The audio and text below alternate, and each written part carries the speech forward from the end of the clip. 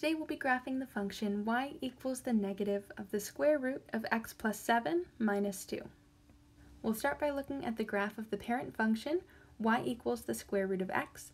Notice that it passes through the point 0, 0. We'll be transforming this function into the one we want to graph, starting with reflections.